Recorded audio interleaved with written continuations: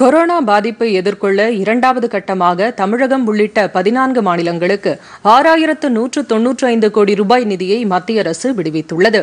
இதில் அதிகபட்சமாக கேரளாவுக்கு ஆயிரத்து இருநூற்று எழுபத்தி ஆறு கோடி ரூபாய் ஒதுக்கீடு செய்யப்பட்டுள்ளது.